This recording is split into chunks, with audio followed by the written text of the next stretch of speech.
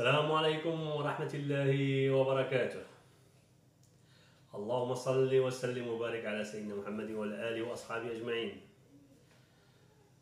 أعزائي الكرام أهلا بكم في حلقة جديدة في قناة أبو يوسف بلوك. في هذه الحلقة سنتناول موضوع الهجرة إلى كندا وتحديدا عن الفيزا بحث عن العمل الألمانية. فهنا يعني توجد توجد تشابهات واختلافات بين الفيزا بحثا عن العمل الألمانية والبرتغالية. يعني في الفيديو يوجدون فيديوز كثيرون على الفيزا بحث العمل البرتغالية لكن في هذا الموضوع سنتكلم فقط عن دولة ألمانيا وهي فيزا جديدة البحث عن عمل ولها شروطها ومتطلباتها. سنتكلم عن كيفية بحث عن هذه الفيزا. كيف طلب كيف طلب هذه الفيزا؟ ما هي شروط هذه الفيزا؟ كل كل التفاصيل. إخواني وأخواتي أنصحكم بأن تشاهدوا الفيديو من أوله إلى آخره لكي لا تضيعوا أي معلومة. كما العادة الذين هم جدد فشاركوا في هذه القناة وشاركوا الفيديو مع جميع أصدقائكم على جميع التواصل وسائل التواصل الاجتماعي. إضغطوا على لايك إضغطوا على زر الجرس لكي دائما يأتيكم الجديد. وإن شاء الله نبدأ في الفيديو. بركة الله. ما هي تأشيرة بحث العمل الألمانية؟ تأشيرة البحث عن عمل في ألمانيا هي تصريح إقامة طويل الأجل والذي يسمح لك بالبقاء في البلد لمدة ستة أشهر كما كان في في نفس التأشيرة البرتغالية. عن وظيفة. وإذا إذا وجدت مكانا للعمل في نهاية الأشهر الست فسيتم منحك تأشيرة عمل ألمانية أو تصريح عمل ألماني وسيسمح لك بالعمل والعيش هناك. يرجى ملاحظة أن الحصول على تأشيرة بحث عن العمل لا يسمح لك ببدء العمل على الفور في ألمانيا. هذا يعني فقط أنه يمكنك زيارة البلد والبحث عن وظيفة أثناء إقامتك. يعني إخواني وأخواتي يقول النص يعني إن في هذا الوقت عليك أن تبحث عن العمل في هذه الستة أشهر.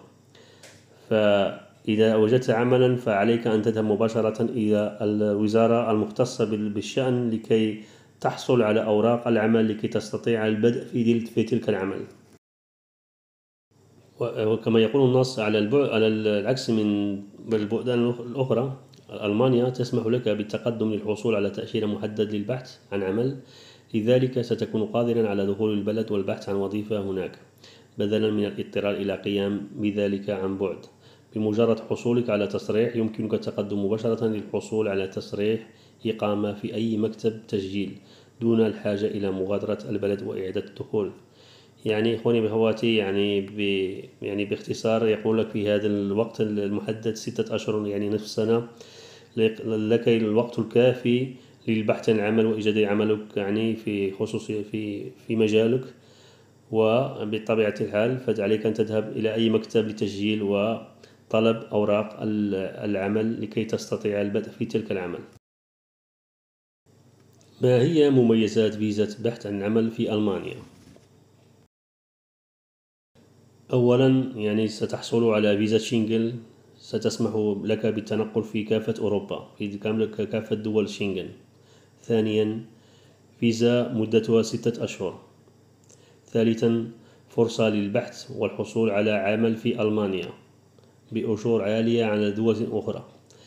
رابعا متاحة لجميع البلدان. خامسا تقديم طلب آمن وفعال. ما هي شروط التأشيرة أو الفيزا؟ بغض النظر عن التأشيرة التي تطلبها يجب عليك تقديم جواز سفرك مصحوبا بالمستندات التالية والجواز السفر عليه أن يكون ساريا المفعول. يعني في في النقطة الثانية عليك أن استمارة الطلب مكتملة حسب الأصول. إفادة موقعة بأنك على علم بأحكام المادة 54 من قانون الدوام الألماني. نموذج مع معلومات الاتصال الخاصة بك لتوصيل قرار الإجراء. صورة بيومترية حديثة بحجم جواز السفر للتأشيرة الألمانية.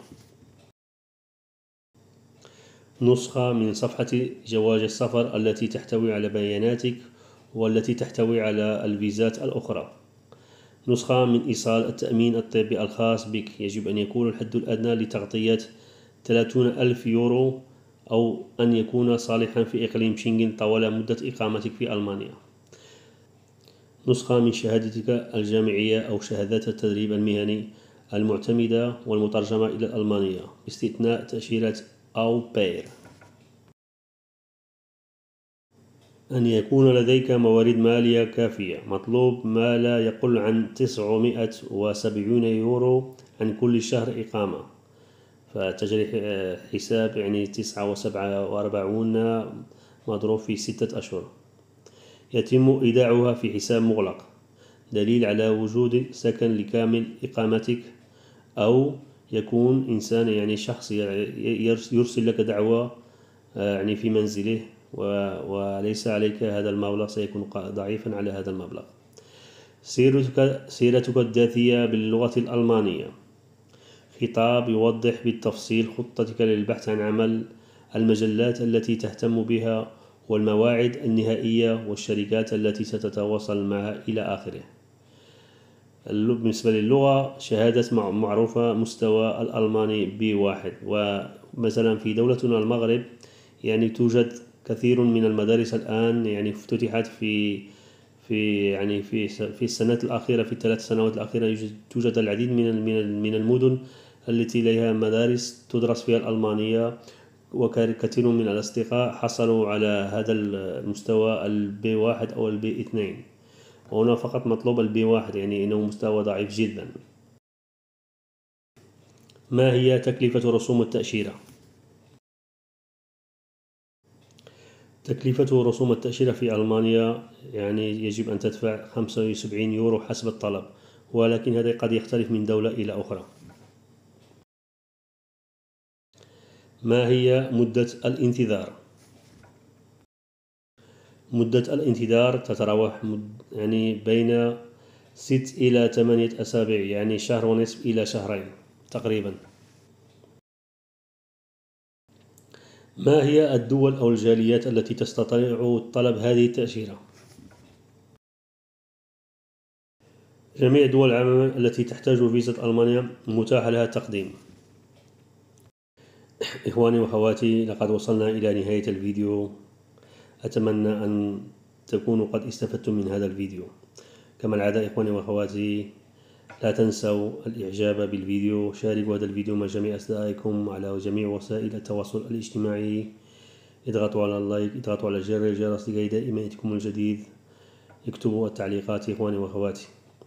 إن شاء الله إلى حلقة جديدة.